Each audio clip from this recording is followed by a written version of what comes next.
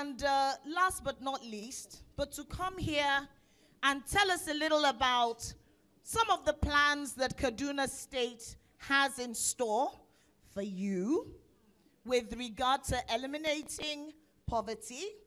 We have the Chief of Staff to the Governor, Mr. Muhammad Sani Abdullahi, also known as Dattijo. Please check your mics.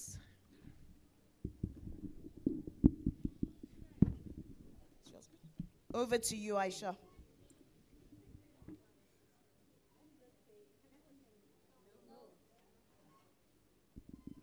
Can you guys hear me now? Okay. Let me just say, when I saw the panel that was on, I thought I had done something wrong to Lola because I read about everyone on the panel and I got a bit scared. And then when Malam entered also, I started, I was telling my friend, like, what is happening? So I feel a lot of pressure right now. Um, but I also sighed when I saw this topic, eliminating poverty in the North, because there's so many angles and so many ways to look at it. And I feel like even if we were given four hours, we wouldn't exhaust it. So northern, Ni- um, let me start. Nigeria is the uh, poverty capital of the world, which means half of the population lives under less than 700 naira in a day. So there are people, half of Nigeria basically does not have 700 naira to spend in one day. And then according to the NBS, the numbers are even worse in the north. So in terms of healthcare, literacy, the numbers are way worse compared to other regions. And so why we have this panel is just to look at those numbers, to talk about how we can use businesses to, to lessen those numbers, to make the economy of the North better, and to also see how we can get investors from outside the North to come in as well. I have a very competent panel, like I said before, to discuss this topic. I don't know if I should introduce you, or would you like to? I think you should introduce yourselves. Let's warm up from the previous panel. So I'll start with you, um, Abubakar Suleiman. Please tell us who you are and what you do. Um, my name is Abubakar Suleiman. I've, I've um, been in the private sector for over 20 years, and I spent most of that working in financial institutions, specifically in the bank. Okay, Amal. My name is Amal Hassan. I'm the founder and CEO of Outsource Global. Outsource is a business process outsourcing company, basically a contact center that is serving three different markets US, UK, and Japan. So for now, that's what you need to know. Hey, good afternoon, um, ladies and gentlemen. My boss. Um, I'm under as much pressure as you, Aisha, um, because I, I was hoping my boss wouldn't come, wouldn't come. Now I think I have a second job interview. I might be sacked tomorrow. So I have to do extra well. My name is Mohammed Sani Abdullah. I'm a staff in the government house of Kaduna, and I work for the people of Kaduna State um, as the governor decides. Thank you very much. Okay. So let's get cracking. I'm going to start with you, Mohammed Sani. So I don't, I don't think you should put down the mic. Um, I think it's important before we talk about how to eliminate poverty from the north to even define what poverty is and what you think the causes of poverty are in the north in relation to the north. I've been reading about you, and you have a lot of think pieces and articles about poverty in the north. So I think you should tell us what, if you had any theories for why the numbers are much compared to other regions. What would your theories be? Well, thank you very much. Um, and I'd like to start with saying thank you again to Kabafest for bringing us back. I think we did this last year, and it was a similar panel with um, Abubakar, um, where we had the opportunity to really talk about some of these issues. I think one of the main um, things that concern me regarding this topic is the fact that we still, as of yet, um, do not have a consensus around, like you said, what this means, um, the scale of it, and the strategies that we are trying to use to, to fix it. Um, Fest has been on for two or three days, um, and in all intents and purposes, the people in this room constitute the core elite of the northern um, part of this country and other parts of this country. Um, to sit for three days talking about arts and books is something that only elites really can afford um, in, in our country today. So we are, and we have to accept that this is part of the core northern elite. But across the room, if you ask us um, for the different definitions of what poverty actually means and how we should move ahead to actually address um, the question of eliminating poverty in northern Nigeria, you'll probably get as many answers as there are people in the room. So currently we have no consensus as elite on the problem. And this is the major part, I think, of the problem. Um, understanding and having a shared vision of what it is that we are trying to address is critical. And understanding it not just on the basis of generalities. It's very easy to say Nigeria is the poorest nation in the world. But if you say that, you obscure, you obscure so many disparities across Nigeria. And as Aisha started saying, you know, a huge part of this poverty is in the north. But even when you stop at that, you're still obscuring huge parts of information. In the north, where? If you say, for example, if it's the northwest, in the northwest, where? When you say it's Kaduna or Kebbi or Zamfara, where? I think until we are able to finish understanding all these issues and coming together through discussions like this to having a shared vision of what this actually means, first of all. Are we talking about income poverty? Are we talking about health poverty, infrastructure poverty, or all of them, or as multidimensional poverty as has been recently injected into the conversation? So I think it's very important. When I talk about, think about poverty, I think about it a lot from the multidimensional nature. Because if you go to our villages today, you might be income poor, right? But they have better food quality than sometimes even urban areas. So I think we need to look at it as a whole basket of access to healthcare, access to education, access to credit, infrastructure, you know, the levelers of society that allow the child of the poor to be able to climb up the ladder, to sit at these type of tables with us and be able to compete. These are the things that we really need to look at, uh, and I'm hoping that this panel can, can do some justice to that. Thank you.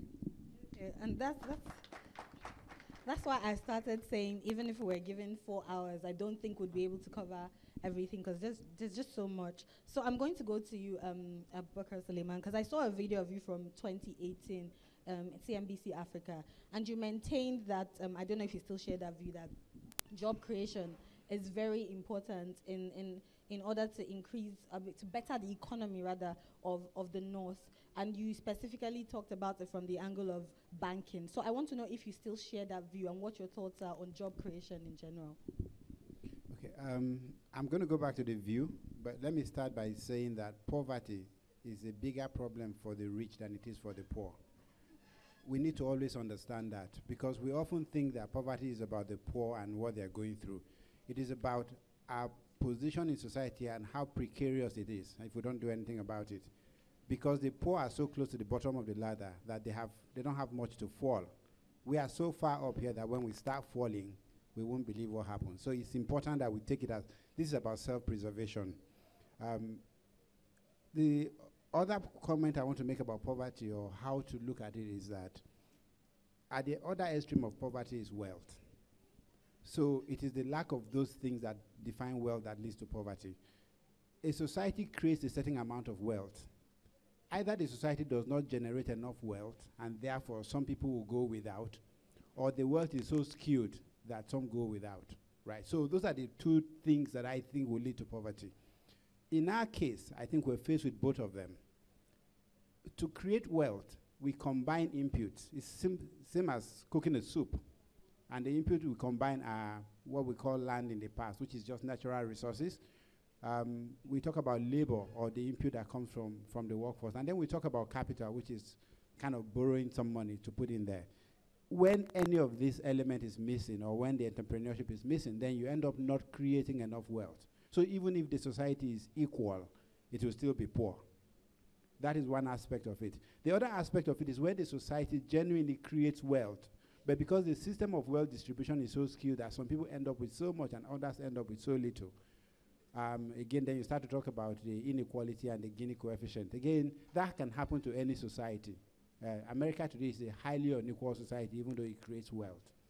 What we need to deal with here, what I think is the fundamental thing for us to deal with, is how to create enough wealth by making sure that we combine those input in the right proportion people talk about education being a fundamental issue. Yes, it is. People talk about access to finance. Yes, but if you don't know what is the missing item, what you tend to do is that you put more input of what you think is missing, and you don't get result.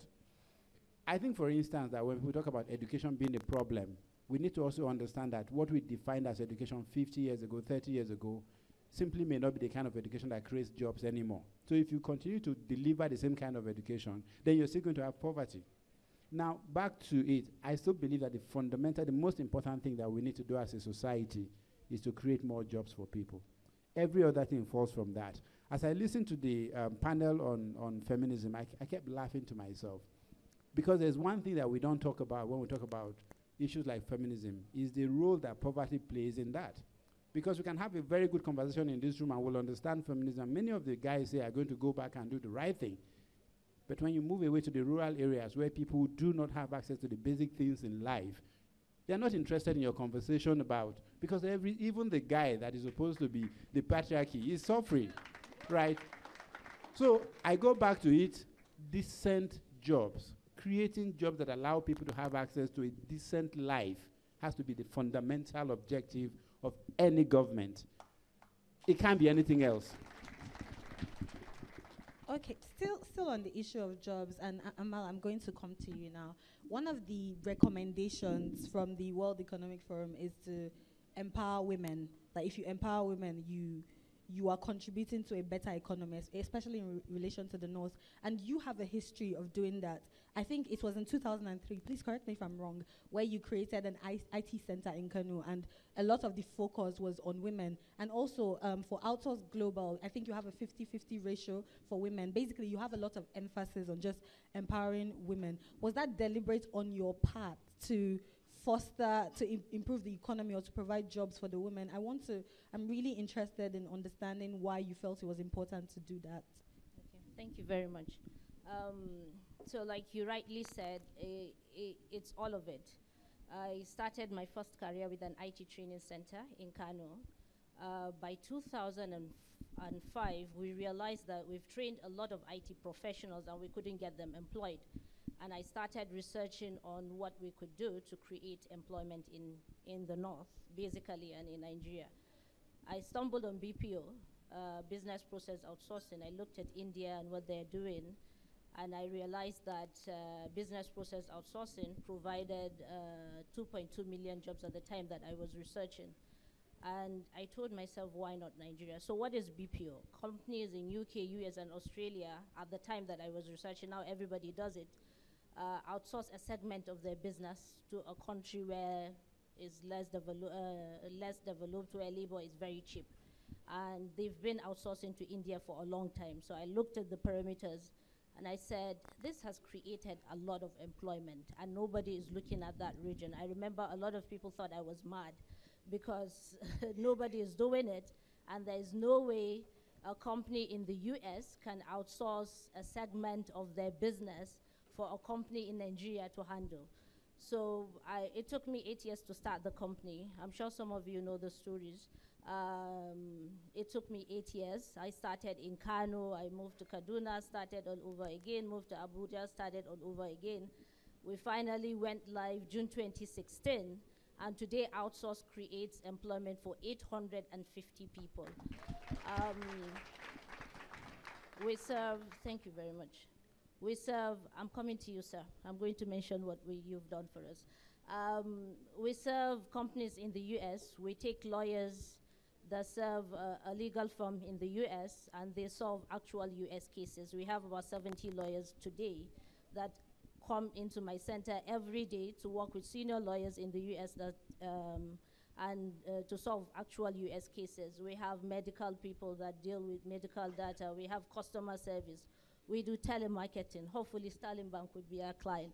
Um, so we have different services. And right now, since our focus is actually employment and creating employment, we try to focus on the women because what we realize is when you bring people for employment, a lot of us don't look at the soft issues. I always take myself as an example.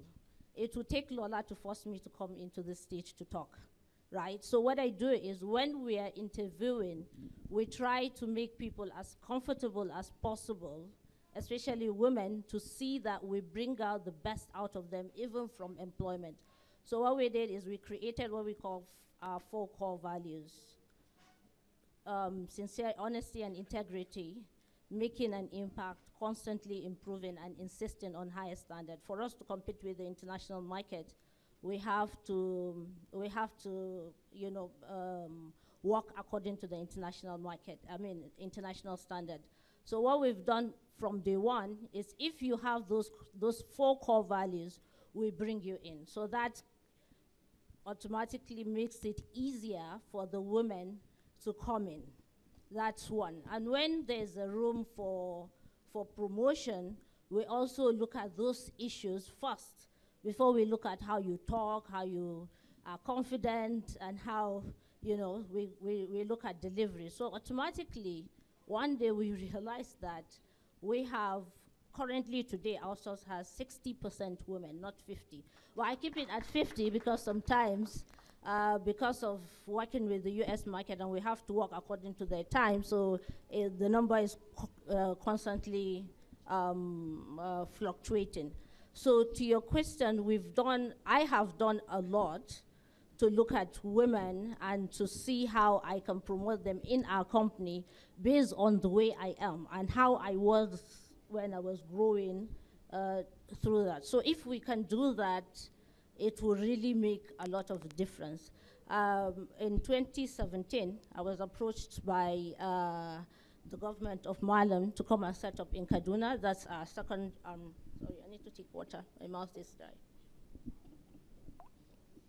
That's our second center. And Kaduna was my second attempt and I was brought back into Kaduna. And, and it's one of the best things that have happened to outsource because at the time, my focus is the north, but I couldn't establish in the north because the infrastructure is, is not there. Everybody that is investing would actually choose Abuja as a preferred investment uh, uh, uh, destination. So when we opened Kaduna, it opened us to a lot of donor agencies who decided to promote us, which at the time that I came to Kaduna, we had 350 seats. Today, outsourced because of that, we have 850.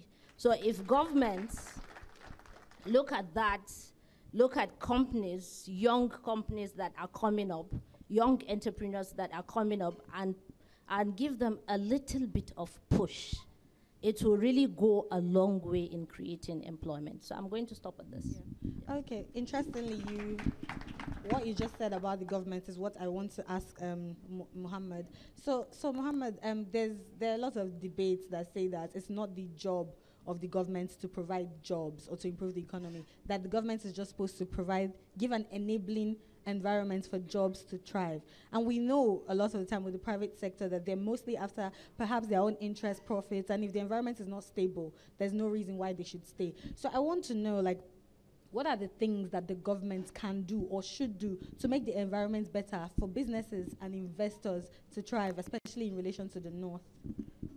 Thank you very much, Aisha. Well, I mean, from our experience, the government can do significant um, amount of support. Um, I'll, and I'll tell you a short story. In 2014, um, while um, we were campaigning um, uh, to run for the elections, while the governor was campaigning, Kaduna was known as a civil service state. Um, everywhere you go, people would say Kaduna is a civil service state. Now, what that essentially means is that the less than 100,000 people that work for the state public service, both state and local government, are the only people that have any income in the state. We have 9 million people in Kaduna, approaching 10, but less than 100,000 people were the people controlling the economy. Now, these people were all public officials, civil servants, all earning a salary of less than the highest salary is maybe three, 400,000. The governor earns about, am I okay to say, sir? the governor earns about 600,000 naira, okay? So the highest salary. Now everybody else depends on this group of 100,000 and less across a state of 9 million.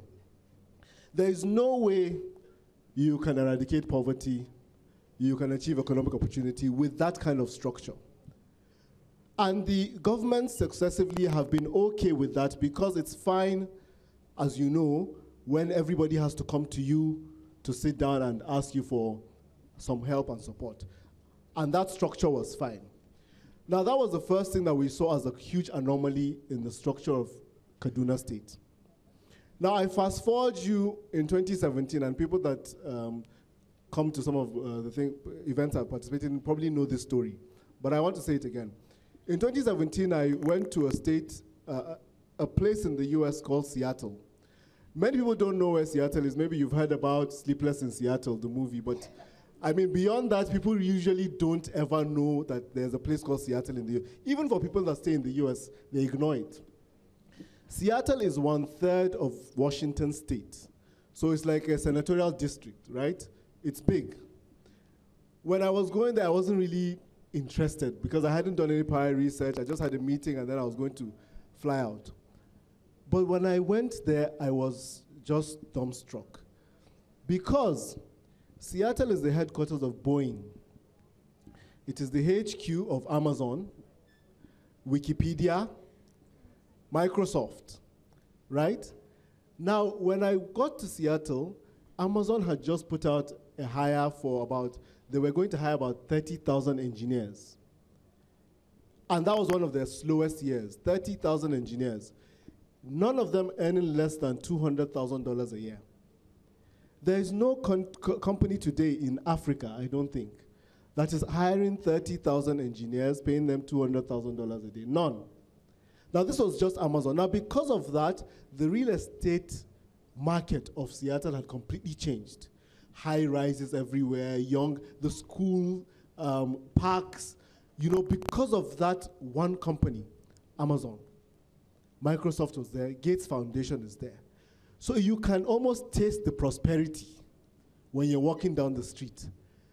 Nobody cares who the governor or mayor of Seattle is. Nobody cares. The reason why we care here is because he's the only person that controls everything. And so we started a deliberate strategy in 2015. I think the first law that we sent to the House of Assembly was to create the Investment Promotion Agency of Kaduna, Kaduna Investment Promotion Agency, which is headed by my sister Uma here. And that investment drive and focus has been our focus all through. So this, regardless of all the stories that you hear about Kaduna, unsafe, kidnapping, blah, every single day we're pushing investments every day. Just yesterday, there's a major big one, which hopefully, I mean, I think down the line we would announce. But there are a lot of things that are happening despite everything.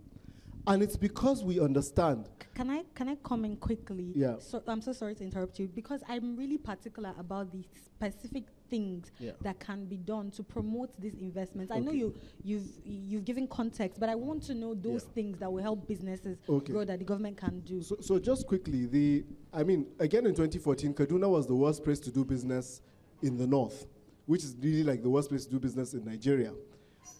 Last, this earlier this year, we won the first first place to do business World Bank worldwide. I mean, in terms of Nigeria, this is the worldwide worldwide ranking, not a Nigerian ranking. Because of the efforts every single day to remove the barriers to investment. I mean, I think a few years ago, many young people in Kaduna were content with. Many young people in Kaduna were content with, I'll go to school and get a job. But we've introduced so many training programs, entrepreneurship training programs in Kaduna, starting with Kaduna Startup Entrepreneurship Program, all the way up to now, um, Click on Kaduna. Then the, the atmosphere has changed. If you see young people today, they're involved in one business or the other. We believe very strongly that that young crop of people are the ones that will power this economy and provide the jobs. People like Amal that we have, we hunt down and we look for and we ask, what do you need? We take away the constraints to business. Amal, I mean, locates in our ICT, co-locates in our ICT hub. I don't think she's paying any rent, is she? I don't, I hope not. but, I, but I mean, these are some of the constraints that you have to follow investors to remove. So we actually sit down with them and say, what are your constraints to setting up in Kaduna? Because we look very long term. And over the past three or four years, you can see major announcements in Kaduna. If you come, if you're coming from uh, Abuja, for example, by road, you're bound to have come across Olam, which is becoming like another traffic stop there because of the number of trailers that are there. That's business. That is a city coming up right there. Opposite Olam is where Dangote is setting up the new Peugeot. If you go into town, there's um, the Mahindra Tractor Assembly Plant, we've got the ICT Hub. There's so much happening. And our young people are being trained in their thousands. So we're hoping that the, this development is not just for today. It's for the next five years, next 10 years, where we're bringing out entrepreneurs that are really making a dent in the market in the global space in Nigeria. Okay. So we've talked about some of the roles that the government has to play in helping um, businesses. Um, I'm going to come to you now, um, Ab- Abubakar. Um, what about the role of the private sector and banking, especially in relation to access to finance? And I don't just mean for SMEs now, even for individuals, perhaps a farmer who wants to do something on his farm. What what role uh, does banking have to play there? Okay. Um, let me start by saying that the most important thing the government can do for the private sector is in their body language. Uh, when you walk into a room and you're not wanted, you start to look for the way out. So the best thing Kaduna has done is that it is clear to everybody that they are very welcoming of the role of pri private sector in building uh, the state. Uh, and thank you for that. Um, before I go again into banking, um, let me clarify. There are many instances where access to finance actually becomes a problem rather than a solution. So we're very careful on thinking that just merely throwing finance solves the problem. I think in Kenya right now is becoming a crisis because of the access to credit and the fact that people are over leveraged. So it's important to balance it. However, that said, um, Nigeria suffers from a particular problem where the total savings in the economy relative to the GDP is one of the lowest in the world. So we don't have a history of saving money. We haven't put money aside. And there could be any number of reasons, but the reality is that you don't have enough even to start a business. Whereas in many economies, you do have enough to start a business that you now leverage on banking. So we need to solve for more than just banking uh, debt finance. Uh, that's one problem. What can we do as bank, as a bank, um, and hopefully I can tie that to tie that to northern Nigeria. We need to look at those who need to access finance and help them understand the other components that are required before financing can come in. So more often than not, the other components are missing. Take a good example. You run a business. Your business has no governance, means that one person decides everything, and you walk into a bank to get finance. You're not going to get that finance. Those are the simple things that if you don't put in place, no matter how many times you go to a bank, you don't get financing. Um, you don't keep your records. Sounds simple, but a lot of people run a business and it's all in their head at that point, you're going to get money from your family and your friend. You're not going to get money from a bank. So the number one rule we need to do is to engage the society so that they understand the relevance of their own role in accessing finance. That said, and specifically for northern Nigeria, we have not invested enough in two things that are important. One is in expanding the channels for access to finance. So if you go to a lot of the northern states, you're lucky if you have a banking branch in the capital. Maybe the top two cities might have a bank branch. When you go out of there, all the other local government, there is no presence of a bank. So the idea that a bank exists to support them, it doesn't even cross their head. So they're used to different methods. And that is something that people can be motivated to do something about. However, the bigger problem, and is one that is not obvious, is that there are not enough people from this part of the country in financial services it may be a subtle issue, but the reality is that when we try to hire people into banking in northern Nigeria, we actually struggle. We find ourselves hiring people from other part of the country and sending here. Now, you don't realize that until you start to look at the data, then you realize that while over 30% of the deposit in the banking system is from northern Nigeria, we're struggling to get 10% of the loans here. And don't forget, it is the loans that create economic activity. It is the loans that forms part of the input for um, how we get to create jobs. So again, these are the subtle issues that I would like to mention. Coming to Sterling and what we do, successful banking business by building a huge bank branch. By the time you pay for the building, the kind of money you need to charge the villagers to make profit, you can't. So you use a network of agents. And we've built an agent network that is over 15,000 now. We're trying to keep scaling that across the country.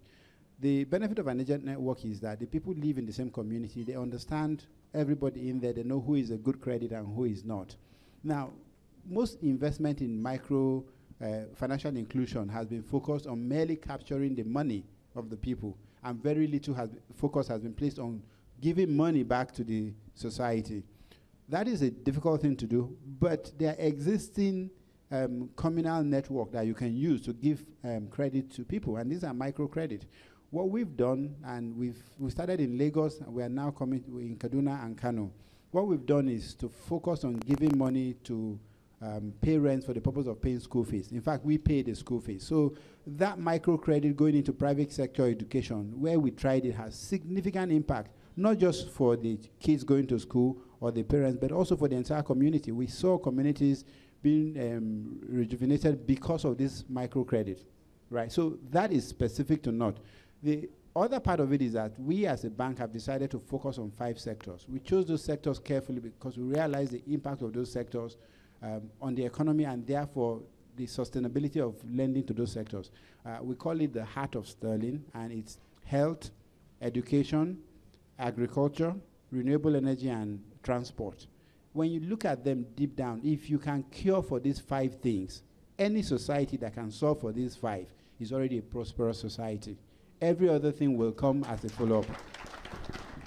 Uh, and we have a unique advantage in northern Nigeria. We have all the land that we need. We have, believe it or not, more water resources than we realize. We just don't harvest them enough. We have the human resources we need. When you move from agriculture and you move into uh, renewable energy, for instance, um, one of the, I think the second best place for solar energy in the world is actually somewhere in Kano. So this place is ripe to harvest the energy of the sun to drive not just um, the manufacturing sector, but also to drive quality of life. And then you know we have a crisis in education right now in northern Nigeria. Therefore, again, this is an opportunity for us not just to try and bring the famous 10 million kids on the street, or but to redefine education so that we can do it cheaper, faster, and we will do it at the most rural uh, place without taking the next five years to prepare. So it's an opportunity. Yes, we have a critical problem, but it's also an opportunity. Uh, and then obviously down to transport. Obviously, when you have agriculture as your mainstay, you must have material investment in transport. So yes, we are focused on those sectors.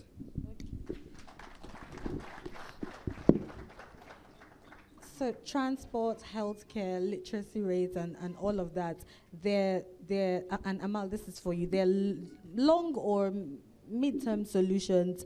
I, I want to know, as based on your experience as someone who has been in business for a very long time, what are the type of businesses or jobs that people are interested in at the moment that can somewhat take them out of poverty. I know not completely, but these solutions that we have been talking about, these things are long term solutions. So, what can we tell the person who sells something on the streets? What, what kind of business or help can we offer them pending the time that these long term solutions, you know, bear their fruits? What, what, just, I want to know what your thoughts are based on your business experience.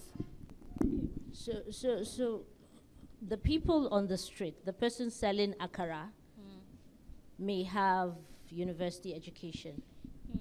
One of the things I discovered when we started outsource is you can find people with master's degree that are building houses, uh, that are carrying cement on their head. So, so, so the first thing is to find out those people are they educated? If they're educated, test them. They can do anything. They're looking for any kind of job. So when I've, we've, we don't pay for advertisement, actually. We, we, we started paying for Jobberman very, very, Jobberman very recently. Once we advertise a, a, job on our website, we have tons and tons of people. And when they come for interviews, you find out that a lot of them are qualified. A lot of them have finished school a long time ago and are doing all odds, a lot of jobs, you know, just to survive. So the first thing is the educated people that are working on the streets trying to get jobs. How do we get them employed? There are jobs requirement internationally and everywhere in the world where the, the uh, labor is very cheap here. So we call it cheap here. Uh, we, they call it cheap, but to us it's not cheap. So they require those services. So what I found out in outsource is there is no skill that is required internationally that is not available in Nigeria. Our lawyers, I, I, I, I always give reference to our lawyers. Our lawyers are very, very good lawyers. we, we have highest, we, we have the highest percent rating when it comes to the legal campaign that we have. A lot of the clients that we serve move their operations from Philippines and India to us. Why? Because we have better accent than India. If you look at myself as an example, I've never studied anywhere but Kano. I went to an Arabic school in Kano, primary. I went to a federal school, FGGC Kazaure, and I went to Bayero University, Kano. And I speak in a way that when an American picked a call, will think that, okay, maybe she's here, maybe she's somewhere close to here, right? So we have the best accent. In terms of IT support services, we have very good, it's not just IT, legal, all the campaigns that we serve, our international clients, are very, very good. We're able to compete with international markets. So the first thing we need to do is identify those skills and channel those skills to where it's needed. It may not be here because there are no companies enough to give jobs for the people that are here. But if government like Malam, just the way they supported me and said, okay, uh, let me just clarify that. I was called by, I was told to come and meet with Malam. One time he was traveling, and they asked me, what can we do to make you come and establish your center in Kaduna? And I told them, build a building that is purpose-based, built for the kind of services I offer. And they asked me, bring the specification of that building. And they built it according to my specification, what I did is I brought in my technology, which was easier, and I established my third center, not second. I forgot that I have Lagos at the time they approached me. So this kind of support goes a long way because I didn't think I could establish the third center until you know that cost was eliminated completely. So these are the things that we need to identify. We need to identify what are the low-hanging fruits the low hanging fruits are the educated people. We have a lot of them looking for jobs. I have an employee of mine that earns 60,000 naira. Every month, he sponsors somebody in his village to start a business. And today he is four months old in my center, and he has sponsored 10,000 10, naira every month for somebody to start a business. His rule is just one none of his, his, his beneficiaries can compete with one another. So the first one is doing, is frying yam. The second one is going to start uh, uh, a plumbing um, services. The third one is going to, you know, so I don't know what the third one and fourth one, I stopped following up with him. So, so, so, so you can imagine how much jobs he is creating in his village. So what, what we need to do as government and private sector is to look at the low-hanging fruits. We have a lot of people that are employed. Start with them first. Then the unskilled, the, the uneducated, we have to look at the way Kaduna State is creating uh, training for people that are, are, are, not educated. So we have mechanics, we have, uh, I know there was a time that one World Bank agency was uh, trying to create, uh, uh, train people in, in all those kind of jobs. So what we need to do as a government, I talk too much, should I continue? so what we, we should do as a government is to create an agency that has a listing of those people that are not educated, that are trained under World Bank, or I, I forgot the name of the program. Uh, there's a program, yeah.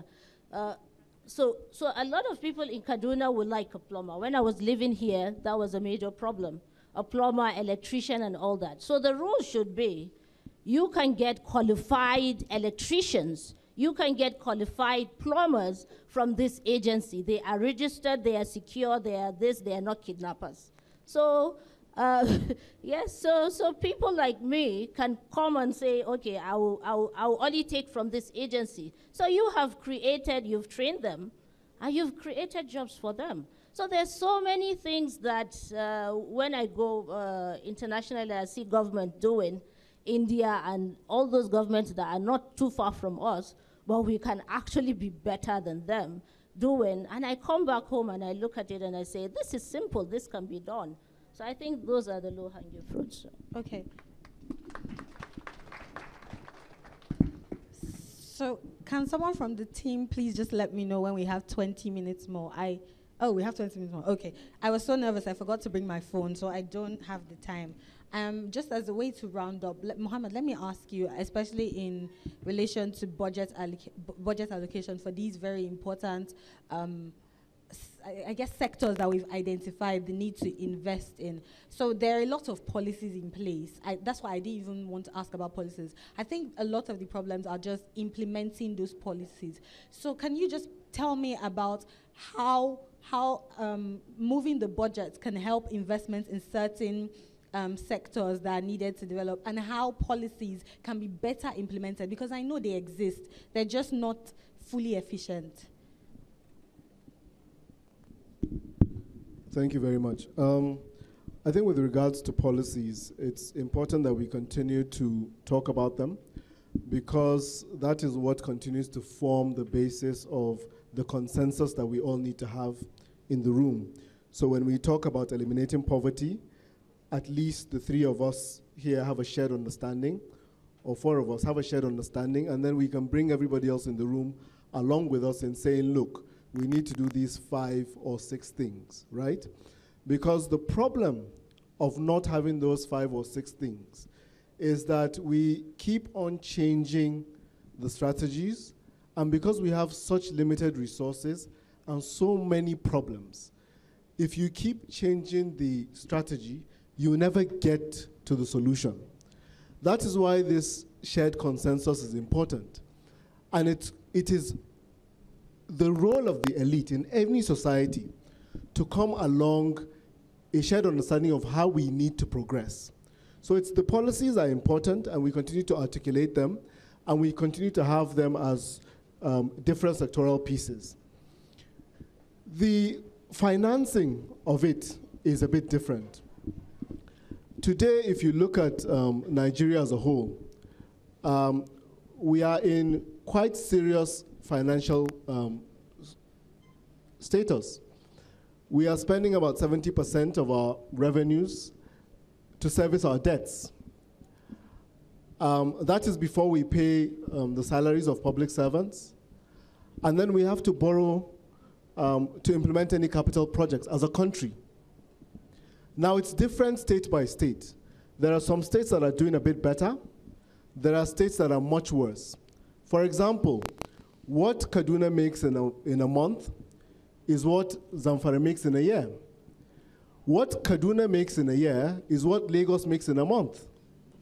So, so you can see that the disparities are huge. And that's why whenever we come to a conversation like this about eliminating poverty, first of all in Nigeria, and then in northern Nigeria, and you continue to go down, it is very important that we contextualize it to the realities of those different locations.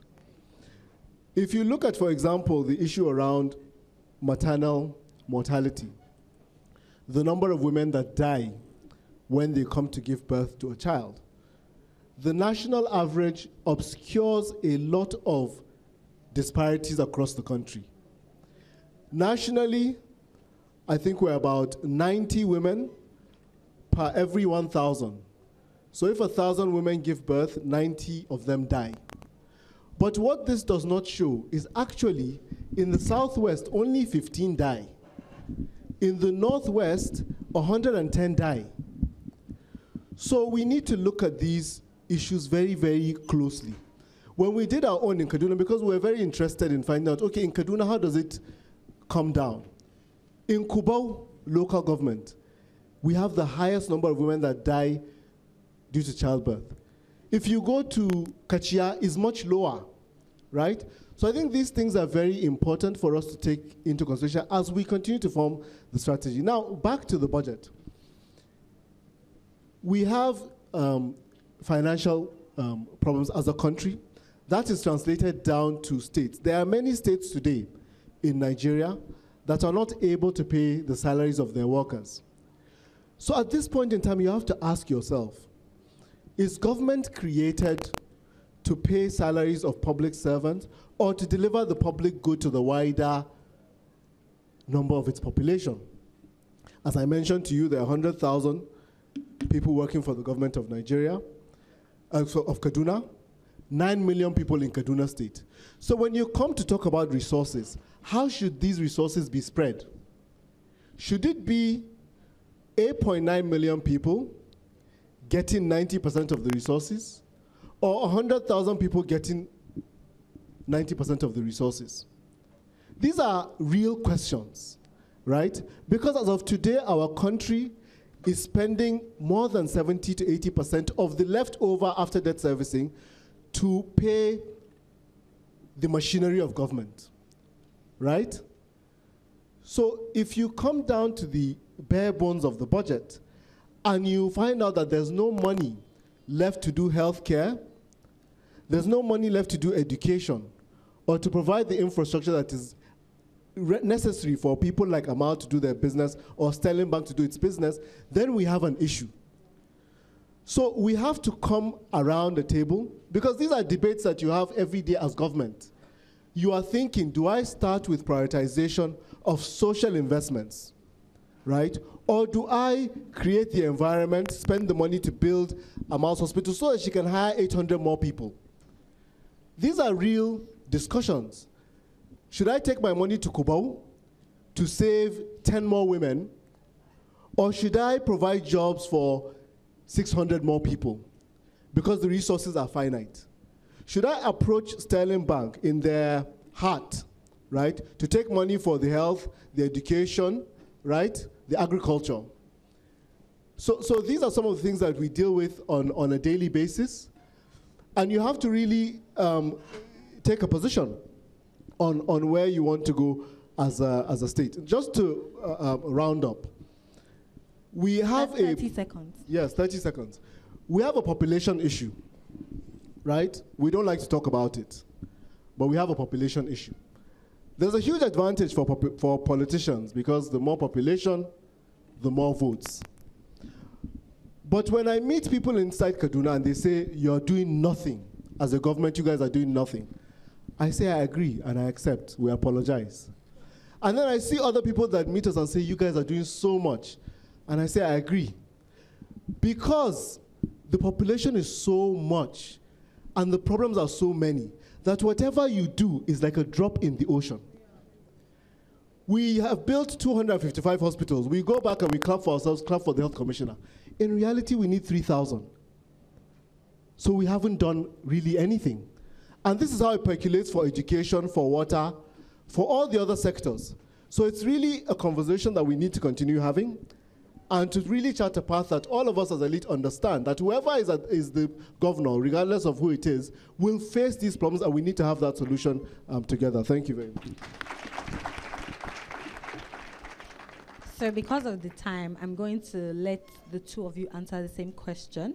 I'm moving a little bit. I want to know the role of the role technology has to play in reducing poverty in, in the north. So if you can answer that very briefly, one minute, that'll be really nice so that we can do the Q&A. So I don't know who wants to go first.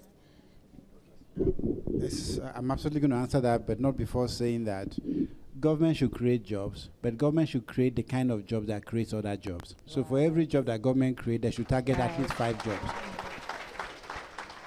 The second point I must also make is that um, our biggest challenge is called productivity.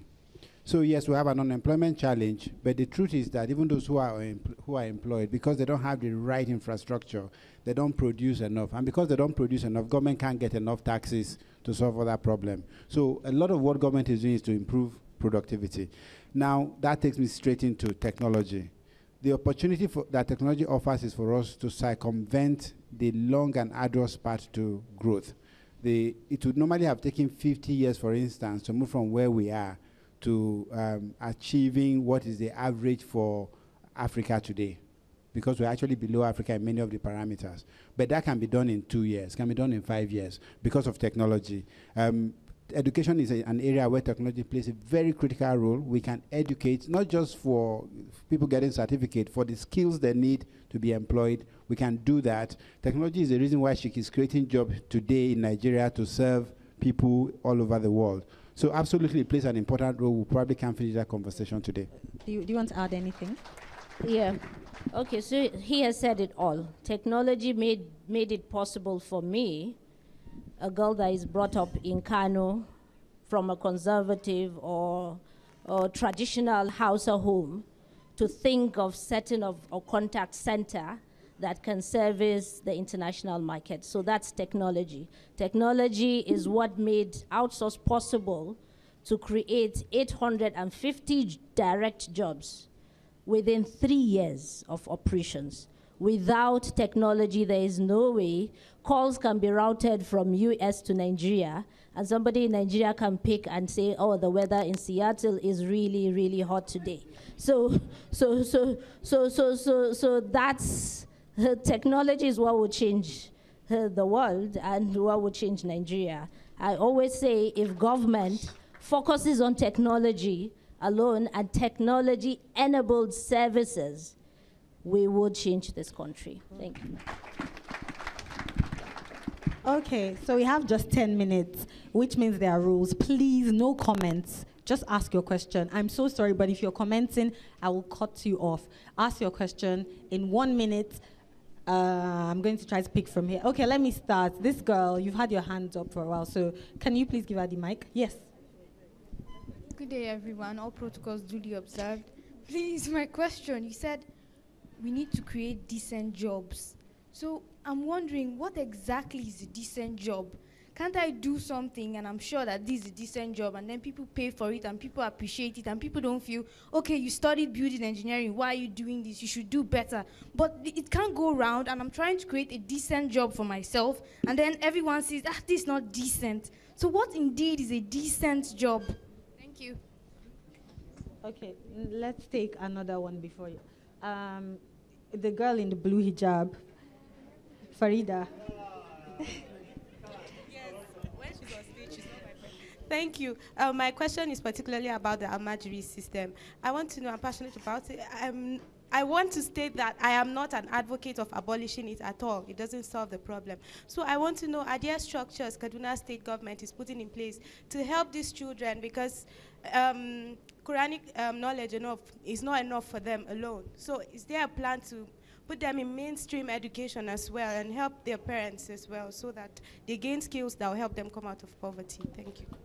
Um, can we get it to the guy in, I don't know what that color is, God. Um, the guy next to the guy wearing brown. You, yes, you looking down, that's you. Can you get him the mic? Yes. Um, good evening, everyone. I am Sani Musa Ibrahim from Ahmadu Bello University, Zaria. Um, sometimes back, I was reading the newspaper, and I came across with an article where the author was saying, and I quote, there is nothing more common in the northern states, in the ni northern Nigerian states, like other than poverty. So it's really made me, it, it was surprising. And then now I'm asking this question. Is the government having any plan, I mean the northern government, is it having any plans of coming together to unanimously and objectively create solutions for this challenge? And my other question is this. Um, as the main challenges, from my own perspective, the major challenge that um, entrepreneurs do face is financing. And that's for upcoming entrepreneurs, financing is a major challenge. As a student now, I've participated in a lot of events, a lot of competitions, and I have not won anyone, believing that winning a competition can make me bring my idea into life. So now, you are successful entrepreneurs, what do you have to offer us? What um, advice do you have to offer to us, upcoming entrepreneurs, to overcome this challenge of financing? Thank you. okay, you. I'll take one more. The guy at the back with the locks, he's had two hands up for a while. Um, Thank you. Um, I've really learned a lot from everything you've been saying, but then I feel so sad that I'm I'm an artist. My name is Ocha Ogaba. I feel so sad that nobody has said anything about the art industry. And I just want to point out that we, we actually exist, and I think we underestimate. I think we underestimate our possibilities. And uh, uh, the mommy there in the middle, sorry, I can't remember your name.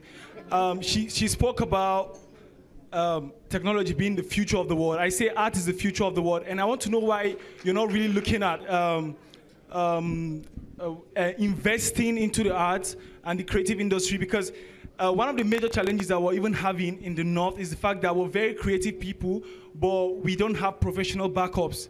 We do not have like an artist management industries, um, companies or agencies, and nobody is helping us. We don't even understand how to go into the business of art. Okay, And yeah. okay, okay. So let me just, um, I, I don't know, the decent job question, was he, who was it addressed to? Okay. Yeah. Please, let's try to answer in a minute. Yeah, no. So there are actually three. I can take out three. Decent job is not defining the work, actually defining the quality of life you are able to live because you work. Because we feel that if you have a job and you cannot take care of your basic need, that is not a decent job. So whatever job can be a decent job, but it has to cater for your basic needs. Um, access to finance, uh, that I would take because the reason, so every single day that we wake up as bankers, we wake up with billions of naira, and the only thing we want to do with that money is to find the right person to give it to. So when we're not giving it out, it's because there is a gap between what you think you need to do and what we think you need to do. So you need to really sit down, begin to understand what you need to have in place before you can access financing. Um, but just to really, really uh, close that nicely, banking gives you a loan when you are an entrepreneur and you are starting a business. That's not the money you need.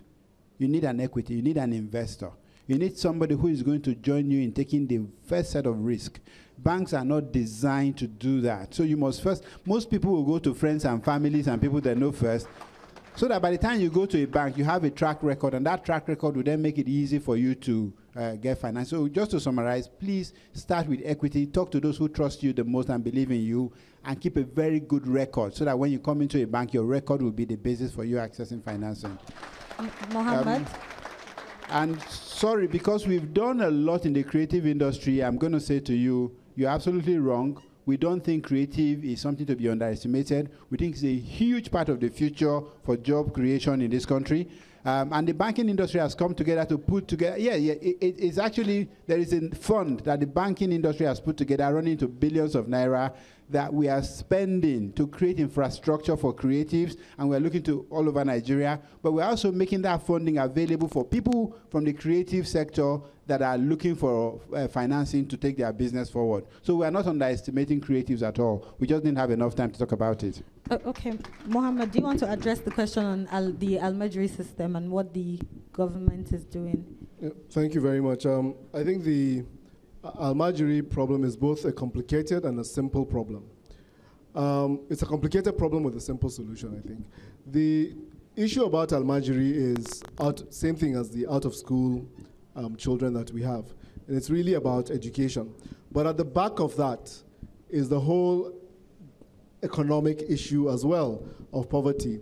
We, I mean, if you walk around Kaduna today, particularly in the night, or you stop to buy suya, um, you are likely to be um, thronged by one or two of these young. Um, I make it a habit to sit down and ask questions, and you would hear about the architecture of how this thing actually works. Every single month, you mop up and you redirect to schooling a number, huge number of these young children. You have much twofold coming in again from other parts of the country and indeed externally. So it's an issue that cannot be solved by just one state, and it's an issue that has been on the agenda of the northern governors, even at the last meeting that we had. So there is a lot that's being done, but it requires an effort from the entire leadership of the region. And it is not just one. But I can guarantee you that if you just stop today, if you're accosted by any, take five or 10 minutes of your time and listen to their story. You will hear that, okay, we came in last week or we came in last month. So no matter what we do uh, to mop up these ones, there's another batch that is in, and it, you cannot stop um, the free flow of, of movement. So it's a problem that we need to tackle um, holistically, very similar to the security issues. Uh, Oh, okay, so um, we don't have time, but I want you to respond to. He asked about advice for entrepreneurs. So, what, what, what would you advise an upcoming entrepreneur? Okay, so my advice to you is there's no clear cut to how you can get financing, really. One of the reasons why we started outsource four times and failed and kept on going was because one, the issue of finance, two, the issue of Um, I don't want to get into trouble, people pushing you out of your business. The, so there are so many issues. So what I always tell young entrepreneurs is keep on trying. You have an idea that you feel is a very good idea and you know you can you can get it out there. Keep on trying until you get it. So um, a lot of people feel that is, is, is really simple. One of the major issues of business is not actually finance. Even when you get the financing, how do you stand out? How do you compete against the best? How do you be, how can you be the best? Those are the things you should be worried about. The first advice was given by um, Abubakar is um, um, start with your family and friends. That's where I started. And then when you do that, make it in such a way that it counts. So um, um, make it in such a way that it counts in the sense that every documentation, every record, um, every delivery is based on professionalism. Right from day one, we insisted on higher standard. We did not compromise on quality. And the best way to get your business stand out is to make sure that from the delivery to the quality to the security man to where people are sitting to the manner and way they, they actually do your business is actually done professionally. A lot of people don't take take, uh, take that for granted. So once you do that with the money that family and friends give you, yes, there will be a lot of people that will want to invest in you. We have, I outsourced today, have outsourced global, not the other initiatives that I started and failed, have, have not collected one single loan from any bank today. Even though I'm going to. Thank, thank you so much. I think we're yeah. completely out of All time. Right. Thank you. So we can't. Thank you very much. A huge round of applause. Thank you so much, Aisha. Thank you, Abubakar. Thank you, Amal. And thank you,